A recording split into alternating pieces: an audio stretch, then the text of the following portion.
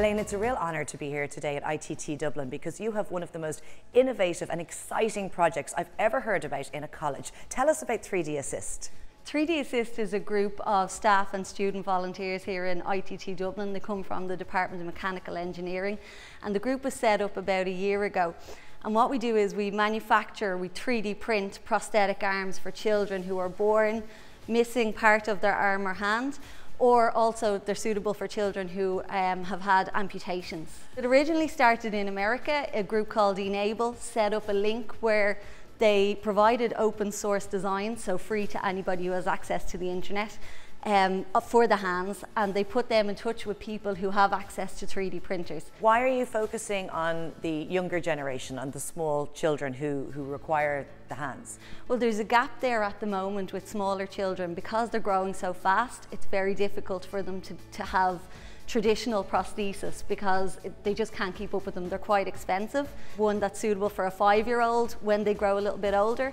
The next one up might be too heavy and quite uncomfortable for them. So a lot of the feedback we get is that the arms are heavy, they're sweaty and a little bit uncomfortable. So this is a fun alternative that can be easily customized for the children.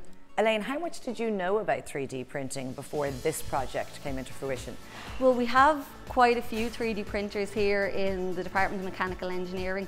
We've used them quite a lot for student projects and I'm working here in the materials lab, so we did have the equipment here.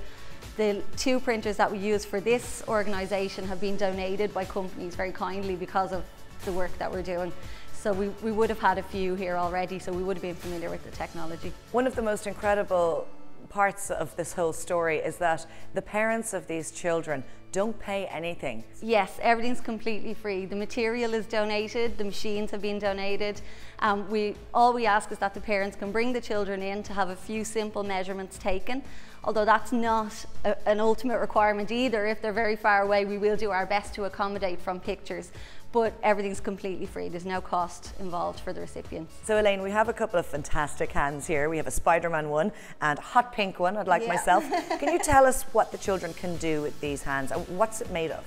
This is made of a plastic called PLA, so it comes on a roll which is fed in through the top of the printer and it's laid down in layers of 0.1 of a millimetre. So everything here has been built up layer by layer from a, a digital drawing. And the way they work is the wires that run from the fingers right through to the elbow joint are made of, um, there's elastic wires and there's also nylon cord.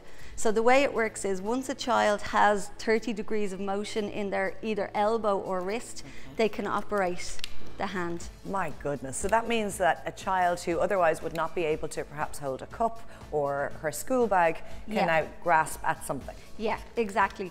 And we, we see a lot of children, the first thing they want to do when they get home is they'll get on a bike because they're able to keep their balance. And actually there's some projects running here at the moment where we're trying to develop a hand specifically for use on a bike.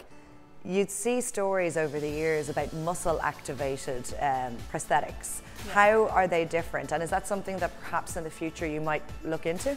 Well, at the moment, the design you can see is really simple mechanical design, but that is something that we have looked into for the future.